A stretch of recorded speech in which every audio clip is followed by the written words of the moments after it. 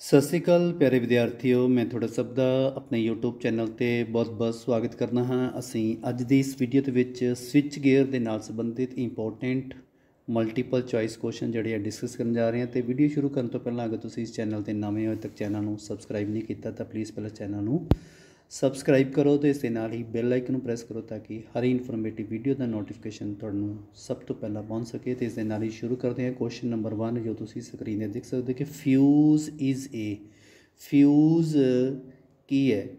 Fuse ਸਾਡੇ ਕੋਲ ਇੱਕ ਪ੍ਰੋਟੈਕਟਿਵ ਡਿਵਾਈਸ ਹੈ ਕਰੰਟ ਲਿਮਟਿੰਗ ਡਿਵਾਈਸ ਹੈ ਕਰੰਟ ਕੰਟਰੋਲਿੰਗ ਡਿਵਾਈਸ ਹੈ ਜਾਂ ਨਨ ਆਫ ਥੀਸ ਇਸ ਜਿਹੜਾ ਰਾਈਟ ਆਨਸਰ ਹੈ ਜੀ ਆਪਸ਼ਨ ਫਸਟ ਆ ਜਾਂਦਾ ਫਿਊਜ਼ ਇੱਕ ਪ੍ਰੋਟੈਕਟਿਵ ਡਿਵਾਈਸ ਹੈ। ਇਹ ਸਰਕਟ ਨੂੰ ਪ੍ਰੋਟੈਕਟ ਕਰਦਾ ਹੈ। ਇਸ ਕਰਕੇ ਇਹਨੂੰ ਕਹਿੰਦੇ ਪ੍ਰੋਟੈਕਟਿਵ ਡਿਵਾਈਸ ਉਸ ਤੋਂ ਬਾਅਦ ਨੈਕਸਟ ਕੁਐਸਚਨ ਹੈ।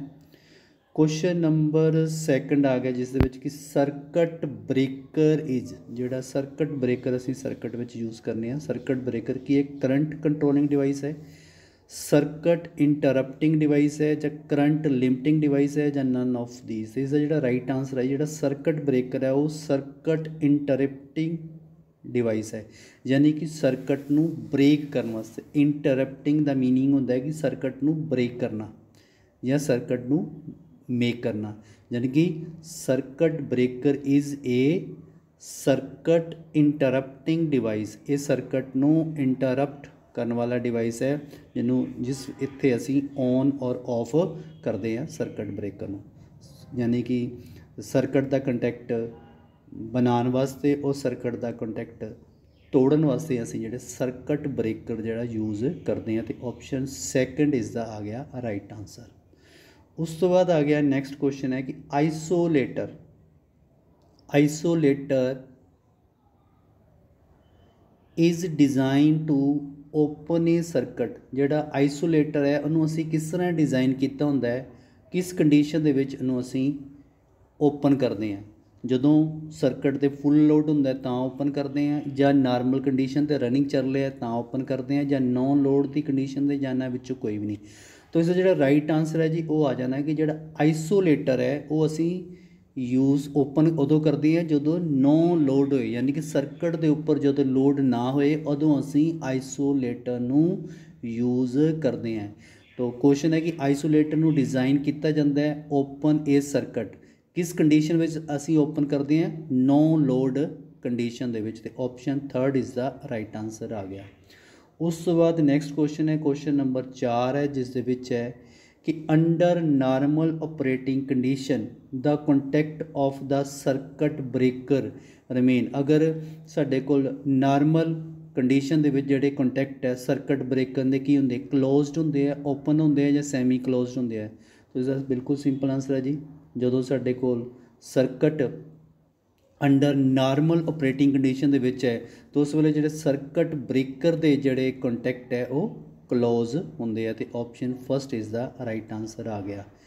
ਨੈਕਸਟ ਕੁਐਸਚਨ ਹੈ ਕਿ ਫਿਊਜ਼ ਪਰਫਾਰਮ ਕੀ ਕਰਦਾ ਹੈ? ਫਿਊਜ਼ ਪਰਫਾਰਮ ਕੀ ਕਰਦਾ ਹੈ? ਆਪਸ਼ਨ ਹੈ ਸਾਡੇ ਕੋਲ detect the function detect the function ਇਹ ਫੰਕਸ਼ਨ ਨੂੰ ਡਿਟੈਕਟ ਕਰਦਾ ਹੈ ਜਾਂ ਸਰਕਟ ਇੰਟਰਪਸ਼ਨ ਫੰਕਸ਼ਨ ਕਰਦਾ ਜਾਂ ਸਰਕਟ ਨੂੰ ਇੰਟਰਪਟ ਹੀ ਕਰਦਾ ਜਾਂ both detect and interruption function ਯਾਨੀ ਕਿ ਦੋਨੋਂ ਕੰਮ ਕਰਦਾ, ਇੱਕ ਫਾਲਟ ਨੂੰ ਡਿਟੈਕਟ ਕਰਦਾ ਹੈ ਤੇ ਇੱਕ ਉਹਨੂੰ ਅਸੀਂ ਇੰਟਰਪਟ ਵੀ ਕਰਦੇ ਹਾਂ ਤੇ ਨਨ ਆਫ ਦਾ ਥੀਸ ਇਸ ਦਾ ਜਿਹੜਾ ਰਾਈਟ ਆਨਸਰ ਹੈ ਜੀ ਆਪਸ਼ਨ 3rd ਆ ਜਾਣਾ ਸਾਡੇ ਕੋਲ। Both detection and interruption function ਇਹ ਡਿਟੈਕਸ਼ਨ ਤੇ ਇੰਟਰਪਸ਼ਨ ਫੰਕਸ਼ਨ ਦਾ ਕੰਮ ਕਰਦਾ ਫਿਊਜ਼ ਉਸ ਤੋਂ ਬਾਅਦ ਨੈਕਸਟ ਕੁਐਸਚਨ ਹੈ ਕੁਐਸਚਨ ਨੰਬਰ 6 ਹੈ, ਜਿਸ ਦੇ ਵਿੱਚ ਹੈ ਕਿ ਜਿਹੜਾ circuit breaker perform the function ਜਿਹੜਾ ਸਰਕਟ ਬ੍ਰੇਕਰ ਹੈ, ਉਹ ਕੀ ਪਰਫਾਰਮ ਕਰਦਾ ਹੈ ਉਸ ਦਾ ਕੀ ਕੰਮ ਹੈ? Circuit breaker perform the function ਕੀ ਕੰਮ ਕਰਦਾ ਹੈ? ਡਿਟੈਕਸ਼ਨ ਓਨਲੀ ਸਿਰਫ ਫਾਲਟ ਨੂੰ ਡਿਟੈਕਟ ਕਰਦਾ ਹੈ ਜਾਂ ਸਰਕਟ ਇੰਟਰਪਟ ਓਨਲੀ ਕਰਦਾ ਹੈ ਜਾਂ ਬੋਥ ਡਿਟੈਕਸ਼ਨ ਐਂਡ ਇੰਟਰਪਸ਼ਨ ਕਰਦਾ ਹੈ ਸਰਕਟ ਨੂੰ? ਜਾਂ ਨਨ ਆਫ ਦਾ ਥੀਸ ਤੋ ਜਿਹੜਾ ਸਾਡੇ ਕੋਲ ਸਰਕਟ ਬ੍ਰੇਕਰ ਹੈ, ਇਹ ਕੀ ਕਰਦਾ ਸਾਨੂੰ ਸਰਕਟ ਨੂੰ ਇੰਟਰਪਟ ਕਰਦਾ ਹੈ। ਸਰਕਟ ਨੂੰ ਇੰਟਰਪਟ ਕਰਨ ਦੇ ਲਈ ਅਸੀਂ ਯੂਜ਼ ਕਰਦੇ ਹਾਂ ਸਰਕਟ ਬ੍ਰੇਕਰ ਤੇ ਆਪਸ਼ਨ ਜਿਹੜਾ second is the right answer ਆ ਜਾਏਗਾ।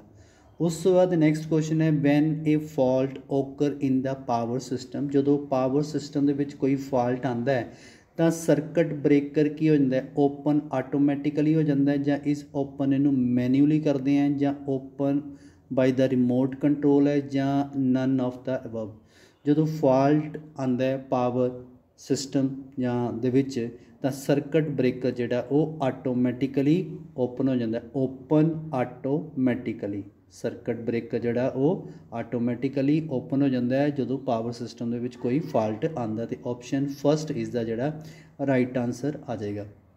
ਉਸ ਤੋਂ ਬਾਅਦ ਨੈਕਸਟ ਕੁਐਸਚਨ ਹੈ ਕਿ circuit breaker is able to open under ਜਿਹੜਾ ਸਰਕਟ ਬ੍ਰੇਕਰ ਹੈ ਉਹ ਕਿਸ ਕੰਡੀਸ਼ਨ ਦੇ ਵਿੱਚ ਓਪਨ ਹੁੰਦਾ ਹੈ?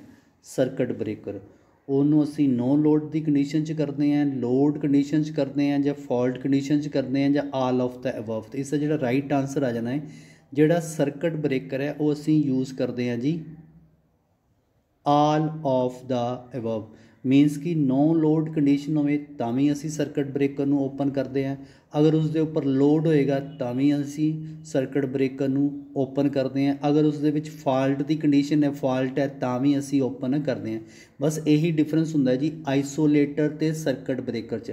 ਆਈਸੋਲੇਟਰ ਹਮੇਸ਼ਾ ਨੋ ਲੋਡ ਤੇ ਆਪਰੇਟ ਕੀਤਾ ਜਾਂਦਾ ਹੈ ਆਈਸੋਲੇਟਰ ਲੇਕਿਨ ਜਿਹੜਾ ਸਰਕਟ ਬ੍ਰੇਕਰ ਹੈ, ਉਹ ਜਿਹੜਾ ਅਸੀਂ ਉਹਨੂੰ ਯੂਜ਼ ਕਰਦੇ ਆਂ ਨੌਨ ਲੋਡ ਕੰਡੀਸ਼ਨ ਤੇ ਵੀ ਯੂਜ਼ ਕਰਦੇ ਆ ਲੋਡ ਕੰਡੀਸ਼ਨ ਤੇ ਵੀ ਯੂਜ਼ ਕਰਦੇ ਆ ਤੇ ਫਾਲਟ ਕੰਡੀਸ਼ਨ ਤੇ ਵੀ ਇਹਨੂੰ ਅਸੀਂ ਓਪਨ ਕਰਦੇ ਆ open under the non load condition load condition ਤੇ ਫਾਲਟ ਕੰਡੀਸ਼ਨ ਤਿੰਨੋਂ ਕੰਡੀਸ਼ਨ ਦੇ ਵਿੱਚ ਅਸੀਂ ਇਹਨੂੰ ਯੂਜ਼ ਕਰ ਲੈਂਦੇ ਆ ਕਹਿੰਦਾ ਮਤਲਬ ਕਿ ਓਪਨ ਕਰਦੇ ਆ ਨੈਕਸਟ ਕੁਐਸਚਨ ਹੈ ਕੁਐਸਚਨ ਨੰਬਰ 9 ਹੈ, ਜਿਸ ਦੇ ਵਿੱਚ the device the detect the power fault in the power system. ਕਿਹੜਾ ਡਿਵਾਈਸ ਜਿਹੜਾ ਡਿਟੈਕਟ ਕਰਦਾ fault in the power system 'ਚ? ਪਹਿਲਾ ਆਪਸ਼ਨ ਹੈ ਸਾਡੇ ਕੋਲ ਸਰਕਟ ਬ੍ਰੇਕਰ ਹੈ, ਦੂਸਰਾ ਆਈਸੋਲੇਟਰ ਹੈ, ਤੀਸਰਾ ਜੀ ਰਿਲੇ ਤੀਸਰਾ ਜਿਹੜਾ ਰਾਈਟ ਆਨਸਰ ਹੈ ਆਪਸ਼ਨ ਥਰਡ ਆ ਜਾਏਗਾ ਕਿ ਰਿਲੇ ਰਿਲੇ ਜਿਹੜੀ ਹੈ ਉਹ ਪਾਵਰ ਸਿਸਟਮ ਦੇ ਵਿੱਚ ਜਿਹੜੀ ਫਾਲਟ ਹੈ ਉਸ ਨੂੰ ਡਿਟੈਕਟ ਕਰਦੀ ਹੈ। Option third is the right answer ਆ ਗਿਆ। ਨੈਕਸਟ ਕੁਐਸਚਨ ਹੈ ਜਿਸ ਦੇ ਵਿੱਚ ਹੈ ਕਿ an air is sorry arc an arc is produced when the switch of high voltage and large current ਜਦੋਂ ਅਸੀਂ ਹਾਈ ਵੋਲਟੇਜ ਤੇ ਲਾਰਜ ਕਰੰਟ ਦਾ ਜਿਹੜਾ ਸਵਿਚ ਹੈ, ਜਦੋਂ ਅਸੀਂ ਉਸ ਨੂੰ ਔਨ ਕਰਦੇ ਹਾਂ, ਤਾਂ ਕੀ ਹੁੰਦੀ ਹੈ? ਉਸ ਦੇ ਵਿੱਚ ਆਰਕ ਜਿਹੜੀ ਆ ਉਹ ਪ੍ਰੋਡਿਊਸ ਹੁੰਦੀ ਹੈ। ਤੋ ਆਪਸ਼ਨ ਹੈ ਕਿ ਆਰਕ ਇਜ਼ ਪ੍ਰੋਡਿਊਸਡ ਆਰਕ ਜਿਹੜੀ ਪ੍ਰੋਡਿਊਸ ਹੁੰਦੀ ਹੈ, ਜਦੋਂ ਸਵਿਚ ਨੂੰ ਅਸੀਂ ਹਾਈ ਵੋਲਟੇਜ ਤੇ ਲਾਰਜ ਕਰੰਟ ਦੇ ਕੀ ਕਰਦੇ ਹਾਂ? ਓਪਨ ਕਰਦੇ ਹਾਂ। ਜਾਂ ਕਲੋਜ਼ਡ ਕਰਦੇ ਹਾਂ ਜਾਂ ਓਪਨ ਔਰ ਕਲੋਜ਼ਡ ਕਰਦੇ ਹਾਂ ਜਾਂ ਨਨ ਆਫ ਦਾ ਥੀਸ ਤੇ ਇਸ ਦਾ ਜਿਹੜਾ ਰਾਈਟ ਆਨਸਰ ਹੈ ਆਪਸ਼ਨ ਫਸਟ ਆ ਜਾਣਾ ਜੀ। ਜਦੋਂ ਅਸੀਂ ਹਾਈ ਵੋਲਟੇਜ ਤੇ ਲਾਰਜ ਕਰੰਟ ਯਾਨੀ ਕਿ ਹਾਈ ਵੋਲਟੇਜ ਤੇ ਲਾਰਜ ਕਰੰਟ ਜਦੋਂ ਸਵਿਚ ਨੂੰ ਅਸੀਂ ਓਪਨ ਕਰਦੇ ਹਾਂ ਤਾਂ ਉਸ ਦੇ ਵਿੱਚ ਜਿਹੜੀ ਹੈ ਆਰਕ ਪ੍ਰੋਡਿਊਸ ਹੁੰਦੀ ਹੈ ਤੇ ਆਪਸ਼ਨ ਜਿਹੜਾ ਫਸਟ ਇਸ ਦਾ ਜਿਹੜਾ ਰਾਈਟ ਆਨਸਰ ਆ ਜਾਏਗਾ। ਤੋ, ਅਗਰ ਤੁਹਾਨੂੰ ਵੀਡੀਓ ਅੱਛੀ ਲੱਗੀ ਤੇ ਵੀਡੀਓ ਨੂੰ ਲਾਈਕ ਔਰ ਸ਼ੇਅਰ ਜ਼ਰੂਰ ਕਰਨਾ। ਧੰਨਵਾਦ। ਜੈ ਹਿੰਦ।